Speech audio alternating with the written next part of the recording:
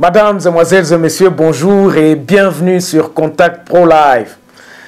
Toujours un réel plaisir de, vous de me retrouver devant vous, chers téléspectateurs, chers followers. C'est toujours vraiment avec joie quand j'ai un sujet auquel j'ai réagi. Vous êtes en train de suivre Réaction Grand Format parce qu'aujourd'hui, nous nous sommes dit qu'il fallait que nous puissions réagir sur des sujets brillants de l'actualité au lieu de réagir sur un ou deux sujets. Aujourd'hui, nous sommes mercredi, donc 17 mai 2023.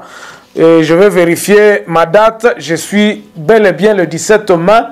17 euh, mai euh, donc 1923, 2023. Euh, nous allons réagir à l'actualité qui est vraiment brûlante et que nous nous disons qu'il fallait que nous puissions vous donner un point de vue général. Pourquoi ça? Parce que ma boîte email, les messages que je reçois sont tellement nombreux et tous les messages, comme je vous dis toujours, lors de vos commentaires, lorsque vous commentez, lorsque vous laissez vos, vos, opinions euh, sur euh, les plateformes comme Twitter et, euh, Facebook ou même sur YouTube, ça m'inspire justement pour voir comment est-ce que nous allons guider notre émission. Donc, quelles sont les actualités, les, grandes lignes des actualités qui vraiment à quelles nous allons réagir? Nous allons réagir sur la marche qui, va, qui aura lieu finalement le 20 euh, décembre, euh, pas le 20 mai de ce mois-ci, la marche de l'opposition. Nous allons euh, parler de cette marche-là aujourd'hui, en tout cas un peu approfondie. Nous allons euh, parler aussi de la sortie médiatique de Mwalimou. Vous m'avez peut-être suivi sur TikTok. Vous nous allons réfléchir sur son apparition. Qu'est-ce que moi je pense effectivement de notre Mwalimou Qu'est-ce qui s'est passé Est-ce qu'il a été à la hauteur des questions qui lui ont été posées? Nous allons réagir sur ça. Et puis, en dernier lieu, nous allons aussi réagir sur euh, ce qui, est, qui préoccupe et qui ébranle les réseaux sociaux, c'est-à-dire l'explosion ou bien l'exposition du grand marché de Kinshasa qui sort de ces, de cendres. Donc, on, commence à voir une lueur d'espoir et ça a suscité beaucoup de, de, de d'espoir et même euh, ça suscité d'engouement à Kinshasa. Et nous allons voir ça, nous allons en parler, nous parlerons notre réaction sur les trois sujets donc, dont je vous ai parlé.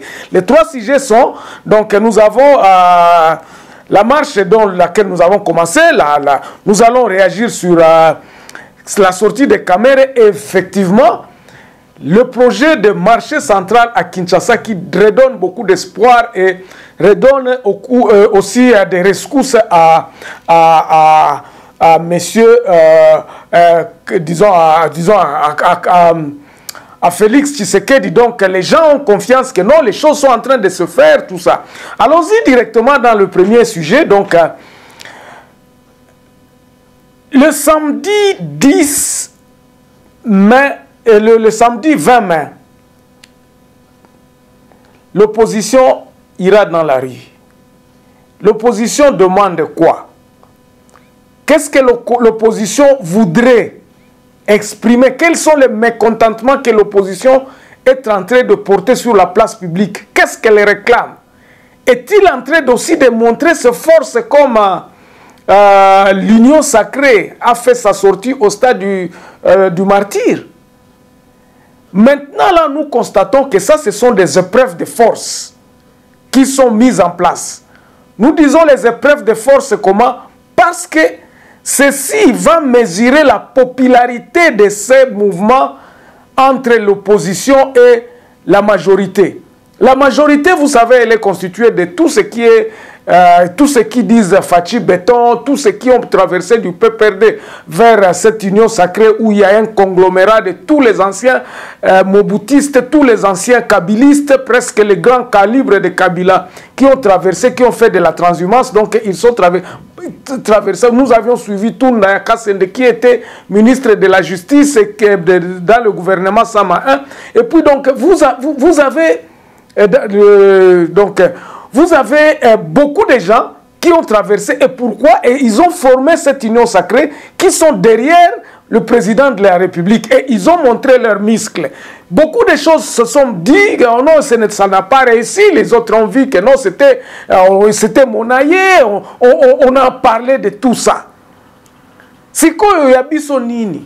Ntango toza komona makambo wana ebimi union sacré bimi totali tolobi ah union sacrée voilà donc nous allons donner le deuxième mandat au président euh, euh, de la république ils ont montré leur populisme qu'ils étaient populaires et qu'ils étaient avec la population ils ont invité la population au stade. On a parlé de plus de 400 000 personnes qui se sont déplacées, qui sont arrivées là-bas le matin tout ça. Tout c'est pour dire que non, nous donnons le deuxième mandat à Félix Tshisekedi. Ça, c'était le, but de cette sortie officielle de l'Union sacrée. Et aucun message n'a été euh, au-delà de ce qu'ils euh, disent deuxième mandat pour Félix Tshisekedi.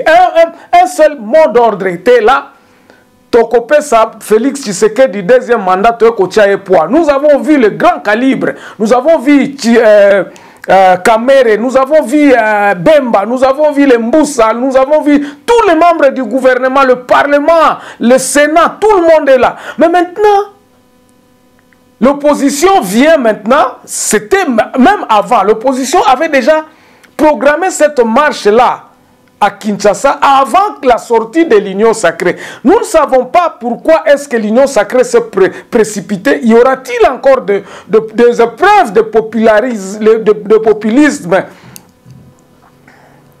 Peut-être ces épreuves-là viendront, mais nous ne savons pas encore. Maintenant, ce sont les tacts. On, est en train de... Chacun est en train de mesurer le, poids politique du populisme.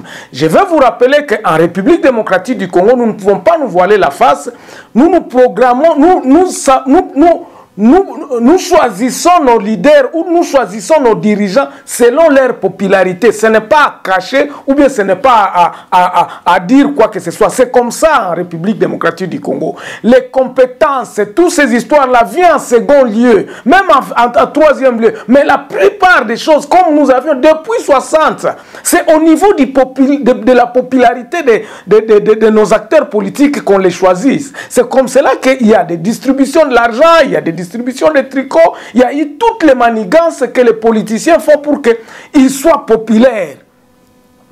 Donc, les opposants, quand ils se sont rencontrés à Lubumbashi, lorsqu'ils sont partis voir faire euh, leurs histoires là, donc euh, euh, Fayoulou, ils ont été voir Katumbi à Lubumbashi, ils se sont décidés que non, ils vont aller à Kinshasa au 15, au 13 mai 2023 et qu'ils vont marcher D'abord, ils avaient dit que non, ils vont marcher pour la CENI, la recomposition de la CENI, les histoires de la Cour constitutionnelle, tout ça.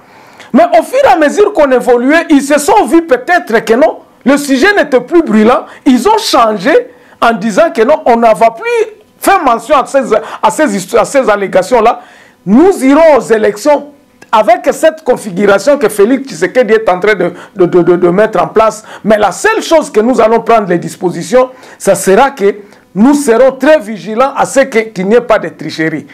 Y a-t-il évolution? Sont-ils sûrs de ce qu'ils sont en train de dire? C'est à eux de nous dire, c'est à eux de nous démontrer. Donc, ils avaient déjà programmé leur marche à, à partir de Lubumbashi, que non, ils seront dans la rue de Kinshasa pour ces trois choses. Parce que nous pouvons lire, nous avions lu leur déclaration à partir de Lubumbashi, c'est qu'ils ont réclamé que non, les élections libres et démocratiques, la Cour constitutionnelle, et puis euh, la reconfiguration de la CENI et tout ça, des histoires qui ont été il y a eu trois points qu'ils ont fait cette déclaration. Mais arrivé à Kinshasa, la, solution, disons, la, la situation a évolué et ils ont changé peut-être de suivi de Paul en se disant ce que nous réclamons là ne nous rendront pas plus populaires. C'est ainsi que M. Katumbi a décidé de venir envahir Kinshasa et de venir prouver sa popularité à Kinshasa pour que l'opposition finalement puisse euh, faire voir que non, à la majorité, qu'il n'est pas maître de la rue.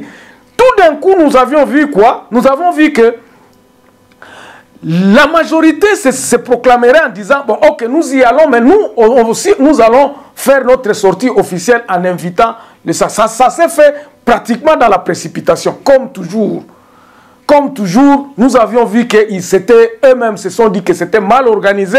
Les gens ont quitté le stade avant qu'ils ne puissent, on leur puisse donner le message. Mais tout le monde déjà connaissait le message. Il n'y avait qu'un seul message. Nous allons donner le deuxième mandat au président Félix Tshisekedi. Donc, arrivé au 13, il n'y avait pas moyen parce que l'opposition, disons la majorité qui est au pouvoir, comme je vous disais, avec tout l'esprit de, de, de, de, de, leur... Euh, donc de leurs souvenirs de quand il y avait combat dans des, rues, ils, ils, ont pratiquement appliqué la même méthode. Et maintenant, et je crois c'est là où je vais aboutir dans ce sujet ici, j'ai vite compris que ces gens ici se sont, se sont remarqués que non, nous nous avions dit que nous étions des démocrates. Pourquoi est-ce que nous allons empêcher la marche de l'opposition? Pourquoi?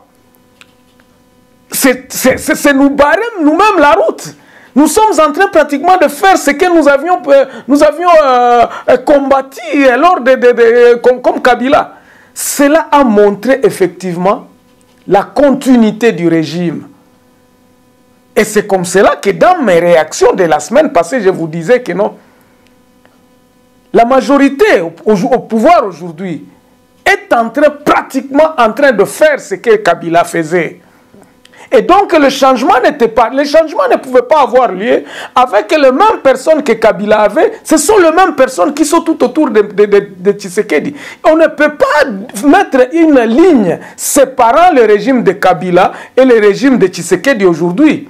Parce que pratiquement ce sont les mêmes méthodes qui continuent à être appliquées réprimander les marches, les libertés de presse sont euh, il y a des, des, prisonniers politiques, il y a, il y a beaucoup de choses. Voilà un peu ce qui anime. Maintenant, portons-nous maintenant à ce que, qu'est-ce que nous espérons de ce samedi?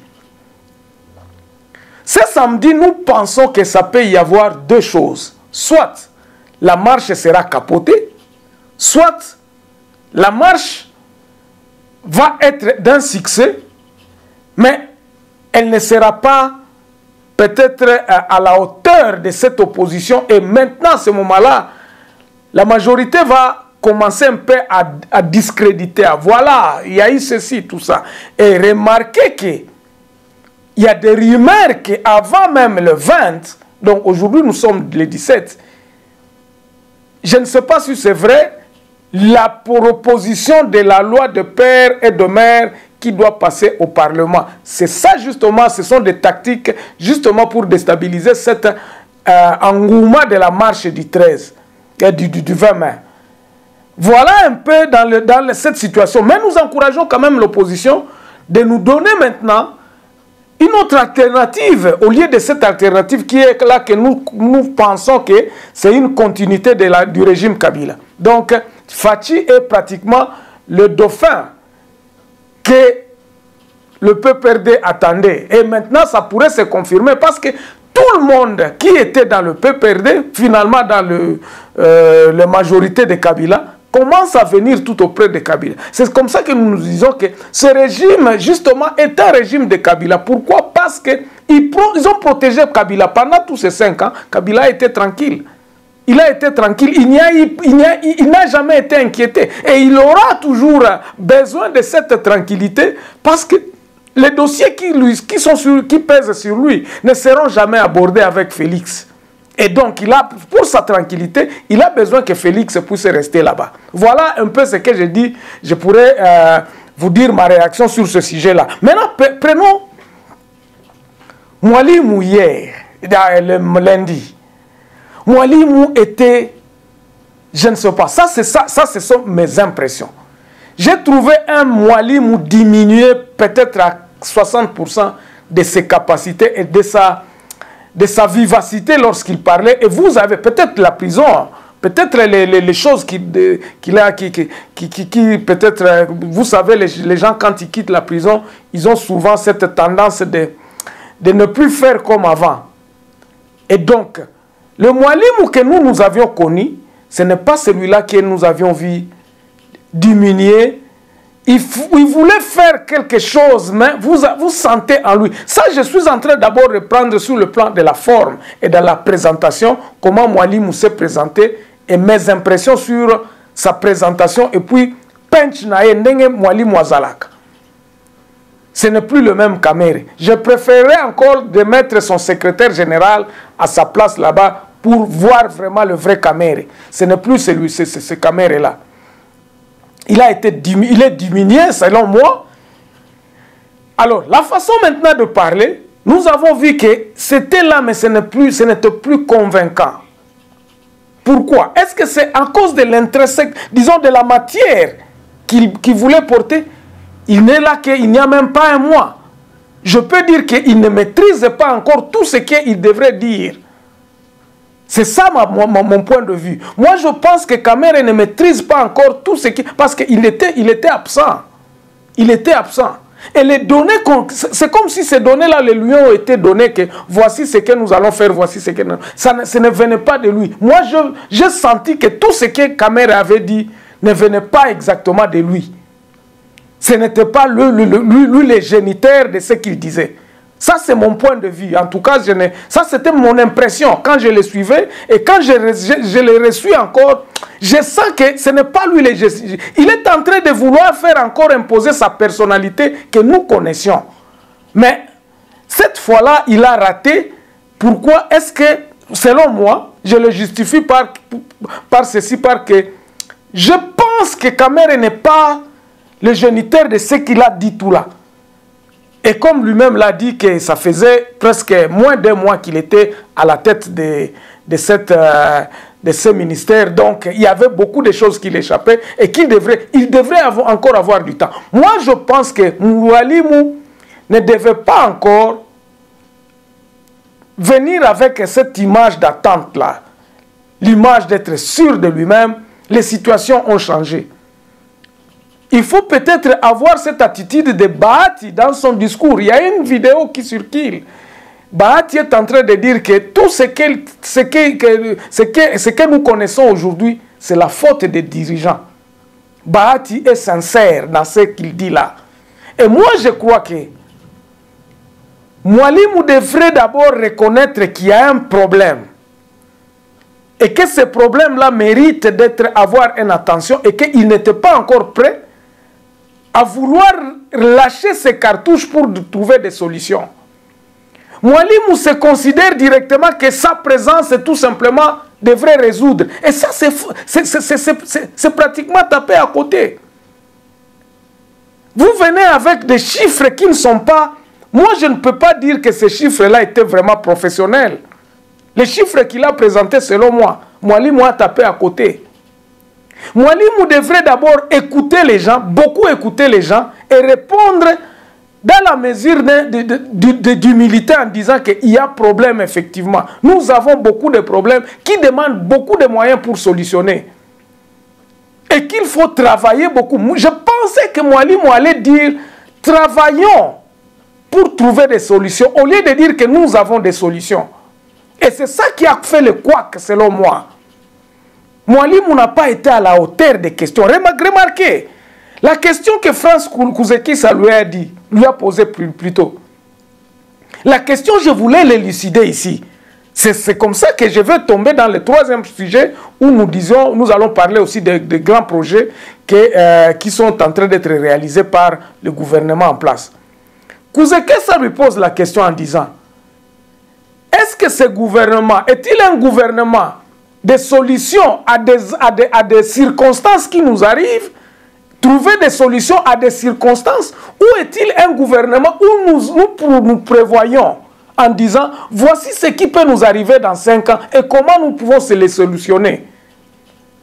Ça, c'est pratiquement le classico de tous ces gouvernements qui viennent diriger. Ils viennent justement pour dire quoi? Pour dire que non, écoutez, le monde va dans cette direction ici. Voici ce qui peut nous arriver. Voici comment est-ce que nous pouvons faire. Qu'est-ce que nous avons aujourd'hui? Quels sont les problèmes que nous pouvons commencer à anticiper aujourd'hui qui permettront à, à, solutionner les problèmes lorsqu'ils arriveront? Parce que les problèmes, ils arriveront toujours. Mais c'est comme si Moualimou n'a pas compris cette question-là. Il a pris cette question-là comme une attaque. Pourquoi? Parce que il n'avait pas compris. Vous voyez comment est-ce que je suis en train de vous dire comment Moualimou est diminué. Il n'avait pas compris cette question-là. Pourtant, c'était une question classique qu'on peut poser à, à n'importe quel dirigeant en vous disant maintenant que vous allez. C'est comme ça, par exemple, lorsque Félix va venir avec, euh, au moment de la campagne, il va parler, il va nous dire quoi? Il va nous donner sa, son, son, budget, il va nous donner ses, ses, réalisations, il va nous donner, euh, donc comment on appelle ça, donc ce qu'il a fait pendant le premier mandat et il va nous projeter dans l'avenir en nous disant, voici ce que je fais. Voici ce que je voudrais faire. Voici comment est-ce que nous allons obtenir les moyens. Il doit nous, donner, il doit, il doit nous indiquer le chemin. Voici ce que nous avions entamé.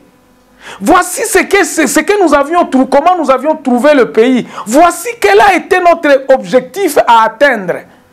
Vous allez remarquer que Félix n'a jamais fait un discours pareil en disant le pays est à tel niveau.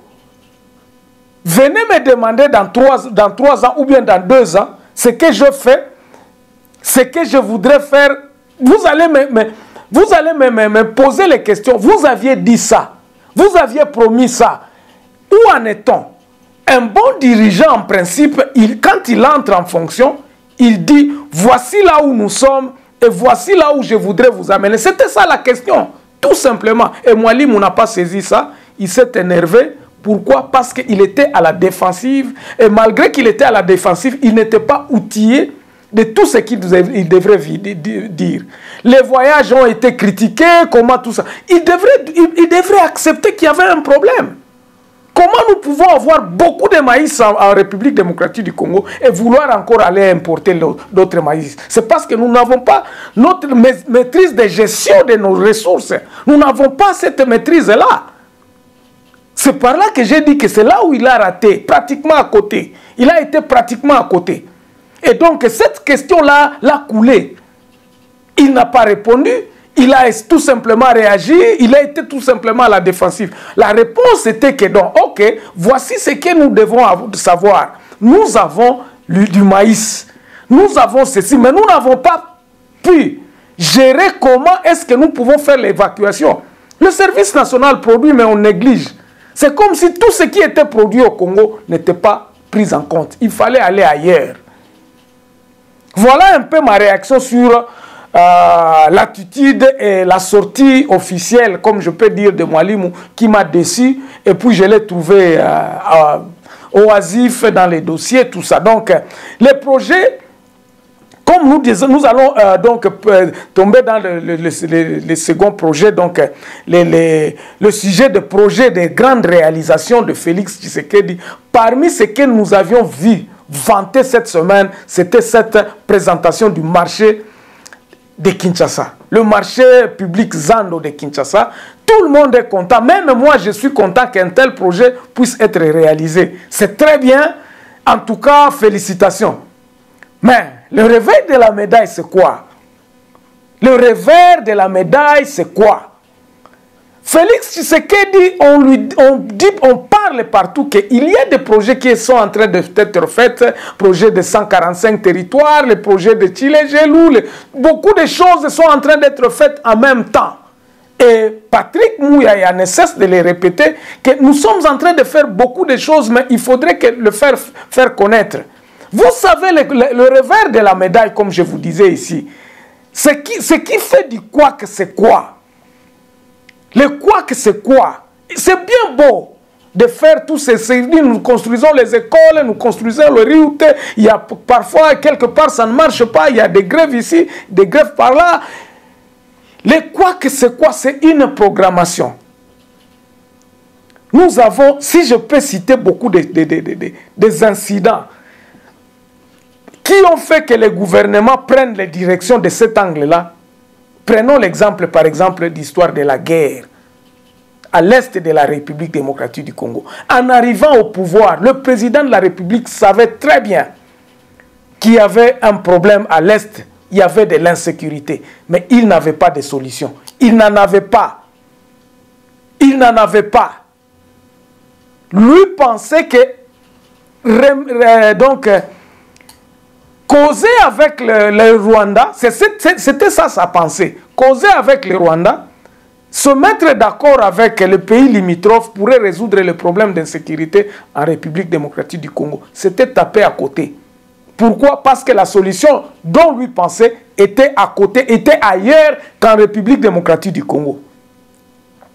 Il ne savait pas qu'il fallait d'abord s'organiser en interne sur le plan défense c'est là où il a, il a, manqué. C'est comme ça qu'il est parti avec euh, ressusciter le M23. Vous voyez comment là où ça... Donc il, il, se disait, bon, il y a un problème en République démocratique du Congo. Disons à l'Est, il y a plein de problèmes de sécurité. Je veux parler avec le Rwanda, je veux parler avec l'Ouganda, je veux parler avec tous les, les neuf pays limitrophes pour essayer un peu de voir comment est-ce que nous pouvons vivre en harmonie. Voyez là où il a, trouvé, il, a pensé la solution au, problème de l'insécurité. Or, le donc le backfire, c'est ce que nous, voyons aujourd'hui. C'est grave aujourd'hui. C'est très grave. Donc nous avons perdu une petite de, de territoires qui ne sont plus dans le contrôle de notre pays. Et c'est grave. C'est ça le projet que vous, pensez que... Pourquoi? Je vais vous dire là où je vais terminer. Ça, c'est le premier d'abord du côté de l'armée. Vous avez pris la mesure de euh, tout ce qui nous chante, euh, comme on dit, la, gratuité de l'enseignement. Vous êtes parti au Fonds monétaire, à FMI, voilà, voici, voici, voilà. Toujours à l'extérieur. FMI a, disponibilisé, de, je crois, de 800 millions de dollars pour ce projet-là de gratuité de l'enseignement. Est-ce que cette gratuité-là est effective aujourd'hui? Il n'y a que eux seuls qui disent que la gratuité est, effective. Nous n'avons pas encore arrivé au temps d'évaluation de, de, des sources de ce qui se passe. Mais on parle de gratuité de l'enseignement pendant que les gens continuent à payer, à, payer, à, payer les, les, et toutes ces histoires-là. Nous parlons de projets matériels. C'est là où nous allons avec le projet des Andes. Nous parlons de projets de, de, de, routes, Chile-Gelou. Nous parlons de projets de 100 jours. Nous parlons de... Voilà maintenant là où se trouve la réponse à la question de notre, euh, notre journaliste euh, France Couzé, Louis, Louis France Couzé. Il se disait quoi? Voici l'axe que nous allons faire. Voici ce que nous... Voici notre vision pour notre mandat pour ces cinq ans à venir. Avec l'argent que nous allons gérer, avec l'argent que nous avons, nous allons voir comment est-ce que nous allons utiliser cet argent-là pour le réaliser ABCD. C'est dès lors que vous parlez, au Parlement vous parlez, à tout le monde vous parlez, les gens vont vous comprendre et vous suivront et ils défendront parce qu'ils diront que non. Le président a dit c'est en fonction de l'étude, c'est ce qu'on appelle l'état de lieu. Même si nous pouvons dire que Félix a trouvé un pays qui n'était pas, pas bon, mais le pays était là tout en entièreté. Kabila lui a laissé le pays en entièreté. Ça, il ne peut pas, nier. Mais qu'est-ce qu'il en a fait aujourd'hui? La réalité est que nous n'avons pas un pays en entièreté. Nous avons un pays dans des territoires qu'on ne contrôle plus. Malgré cela, il y a des réalisations qui donnent, redonnent l'espoir. Mais la faute, elle est où? La faute, c'est justement la consommation de cet argent-là dont vous disposez. Le Congolais voudrait voir clair dans la gestion du pays. Les Congolais voudraient voir en disant Bande Konazana 100 dollars. Je donne un exemple. mboka na biso tokoki kaka koproduire en tout cas na 5 ans oyo baprojection oyo tozosala na banzi ke tokoconstruire kaka na kote ya banzela tokoconstruire kaka en tout cas 2000 km kaka. Mbongo toza nango oyo tokoki kozwa pendant les 5 ans en tout cas topromettre bino biso avant tobima tokotiela toko bino 2000 km tokosalela bino zando tokosalela bino boye tokosalela na mbongo oyo tomoni ke tokoki kozwa. Voilà ce que nous, a, nous pouvons vous donner pendant ces, ces, ces années qui viennent. Et non pas à être là. Bato bayebi te mbongo ya parce que quand vous allez à l'assemblée provinciale de kinshasa vous ne pouvez pas retracer cet argent là ekomi kaka neti kindoki c'est là où se trouve le grand problème parce que eza neti kaka ndoki moko boye azobimisela biso magie abimiseli bino oh, bomoni bomoni mundele natalisi bino boye natalisi bino na ba... le pays moderne ne se gère pas comme ça. Tokoyeba kokontrole mbongo ya, zandu mbongo wana wapi? Comment vous expliquer que mbongo boza kobimisa mbongo? O oh, mbongo ekei boye mbongo ekei boye. Vous ne respectez pas aucune norme d'une gestion moderne d'un pays. Nani akokontrole nani akolakisa bino? Nani akoloba ke biloko oyo esalemaka te? Comment vous vous organisez? C'est ça le désordre qui règne et qui vous couler. Justement eloko wana nde eza couler parce que programmation na bino eza catholique vous, ne suivez pas vous ne respectez pas ce que vous dites. Regardez likambo ya état de siège. État de siège eza wana ezwaka combien da, ez, mbongo combien ekendaka na goma? Mbongo combien ekendaka na ituri? Quels sont les projets qui ont été entamés sans que nous puissions connaître le budget? Mbongo eutaka wapi? Batuni awa il y a une question. Et je crois que c'est Jean-Marie Kassamba qui a dit ce que vous faites là vous ponctionnez l'argent où? Bozuzu yango wapi? Na budget oyo kaka ya 16 milliards. Et quand vous dites que vous avez de l'argent bato baza kofutama te vous voyez là où se trouve le désordre désordre nde ya place wana eza kouta. Eza clair bokoloba oyo tosombi avion oyo totongeli bino balabala boye. Mbongo yango euti wapi? Je crois que place wana nde président de la république asalaki ere et tous les gouvernements bato nyonso tu ya gouvernement na ye bayebi te ndenge nini comment il faut faire. Et c'est comme ça que lui france alobi que non vous vous réagissez à des axes, à, à, à des tozokende neti mbonge moko boye mbula ebeti ah, tosomba parapluie. Oh non bon ok eh, ok awa non ce n'est pas comme ça. Gouverner c'est prévoir. Vous devez prévoir vous devez avoir une vision. Donc voilà un peu ma réaction sur ce que ce projet wana. Oui mais je suis à zando wana. Eza na eza eza eza na quel network. C'est comme cela que j'ai dit même na ba projet ya 145 territoires bazotonga bandako bazotonga ba hôpitaux. Pour quel besoin? Bokanisi kaka zando wana nde ekosalaka bato babanda kozwa mbongo ebele. Les gens ne, ne vendent pas là où ils sont.